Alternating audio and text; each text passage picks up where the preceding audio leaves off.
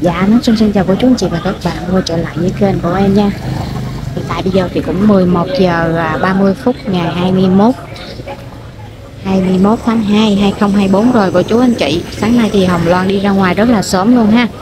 Và hai ngày hôm nay thì à, ở nhà của mình cũng thấy là Hồng Loan đã à, chuẩn bị lau dọn à, cũng như là tất cả mọi việc cho tươm tất để chuẩn bị cho ngày dỗ à, giáp năm đầu tiên của chú Năm Vũ Linh ha. Thì sáng hôm nay em lại cập nhật những thông tin mới nhất để chia sẻ tới quý cô chú anh chị mình. Ở trên trang à, phở bò của anh nhà báo Sông Minh anh cũng có chia sẻ một cái dòng trạng thái cũng khá là xúc động luôn cả nhà.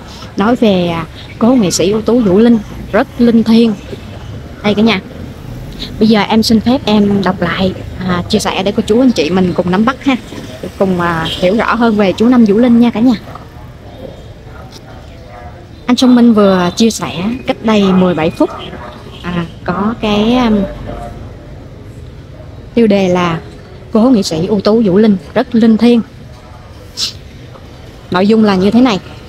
Tối qua tôi và em gái Bình Tinh có nói chuyện với nhau về ngày dỗ đầu của cố nghệ sĩ ưu tú Vũ Linh sẽ được tổ chức tại số 5 đoàn thị điểm quận Phú Nhuận, thành phố Hồ Chí Minh vào lúc 10 giờ 30 sáng, ngày 23 tháng 2 tới đây. Vậy là bao nhiêu hồi ức cùng cố nghệ sĩ trong khoảng thời gian này bỗng ùa về?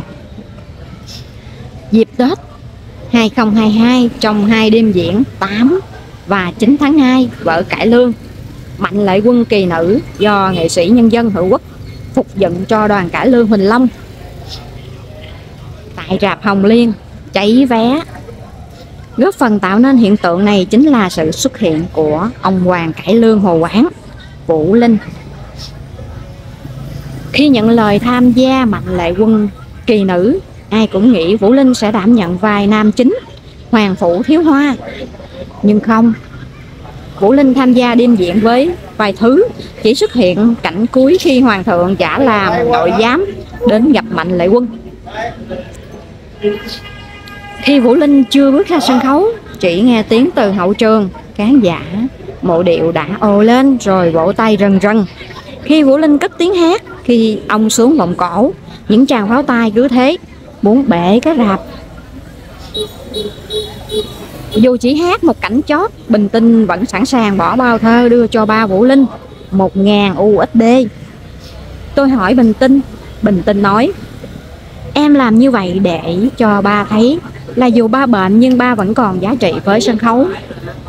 Với khán giả lắm, Ba nhận số tiền đó để ba vui, Vì ba còn làm ra tiền, Cách xê chứ không phải Ba là người vô dụng, Phải xin tiền con cái. Tôi đã rơi nước mắt khi nghe những lời thơm thảo đó của Bình Tinh. Mùa lễ Kỳ Yên ngày 19 tháng 3 2022 tức là ngày 17 tháng 2 âm lịch.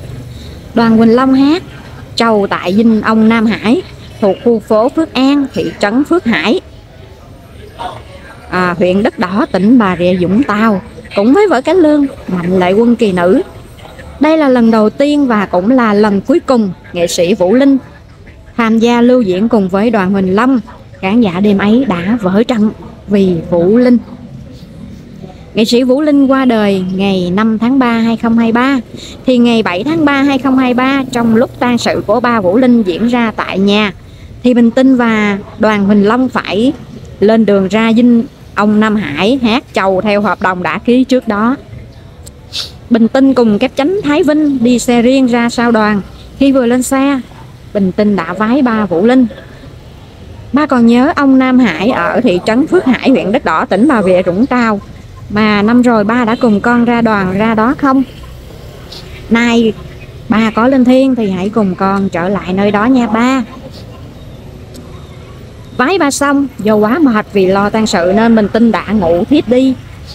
Một lúc sau, Bình Tinh bị Thái Vinh đánh thức vì trong giấc ngủ trong trong biết mơ thấy gì mà bình tinh ú ớ cười to. Lúc này bình tinh mới kể lại cho thái vinh nghe là trong giấc ngủ bình tinh đã gặp được ba vũ linh. Hai cha con đã trò chuyện với nhau rất nhiều. Xin cho phép tôi được giữ bí mật giúp bình tinh nhé. Phải khẳng định một điều là nghệ sĩ Vũ Linh rất linh thiêng, ngay cả việc tôi có mặt trong drama sóng gió gia tộc này cho đến hôm nay cũng chính là nhờ sự khiến xui của vong linh cố nghệ sĩ. Một năm trôi qua thật nhanh, huyền thoại cả lương Vũ Linh đã ra đi. Nhưng tôi tin rằng tên tuổi của Vũ Linh sẽ không bao giờ đặt dấu chấm hết trong lòng hàng triệu, hàng triệu khán giả hâm mộ trong và ngoài nước. Thật sự khi mà đọc xong cái bài này của anh à, Song Minh em khá là xúc động luôn cả nhà. Và em có thể nói là em nổi da gà luôn á. Cảm giác như là nó nghẹn nghẹn em ướt nước mắt luôn cả nhà vì bản thân em là một người à, rất là dễ xúc động luôn. Đây là những cái hình ảnh của à, chị ba Bình Tinh cùng với à, ba Vũ Linh nè cả nhà. Đó. Đây là những hình ảnh tại tăng tang lễ của chú Năm ha. Rất nhiều đây hình ảnh của chú Năm mà khi mà đi hát nè của chú anh chị theo đọc xong cái này em muốn khóc quá cô chú anh chị ơi. Anh à, Song Minh chia sẻ một cái bài viết um, nó nó quá nhiều tình cảm ở đây luôn. Và cái bài viết của anh uh, có 530 người à, tức là 31 bình luận. Em sẽ đọc lại một số bình luận cho cô chú anh chị mình à, nghe để à, mình à, mình xem là khán giả à, như thế nào ha cả nhà ha?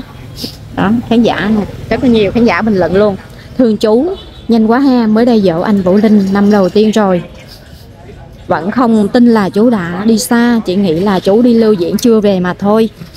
Rồi hôm bữa à, Hồng Loan cũng có chia sẻ là không có nghĩ là à, chú Năm mất cả nhà cứ nghĩ là chú đi lưu diễn giống như khán giả nói vậy đó cả nhà. Người nghệ sĩ có tài có tâm có đạo đức cố nghệ sĩ Vũ Linh ông Hoàng Cải Lương. Ờ, à, Hoàng quả Hồ Quảng cả Lương sống mãi trong lòng khán giả trong lòng đồng nghiệp. Xúc động quá Min ơi. Thật sự quá xúc động luôn. Tiếng hát ấy vẫn trường tồn trong lòng khán giả. Mong em bình tinh ngày càng được ba Vũ Linh phù hộ để được à, khán giả yêu mến giống ba. Bình tinh có phước vì được à, có ba Vũ Linh và Kim Tử Long.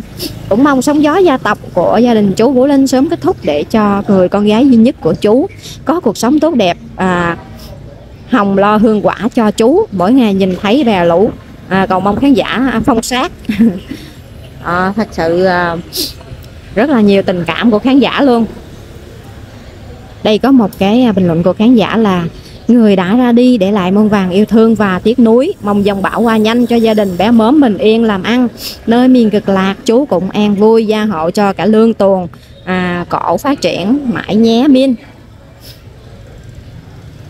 Một, đây một có một cái bình luận khá là dài luôn cả nhà chính xác là chú Vũ Linh dù có thế nào thì luôn là người có giá trị chỉ cần chú chưa xuất hiện mà nghe giọng hát chú đã cất lên là, là rụng tim đó anh.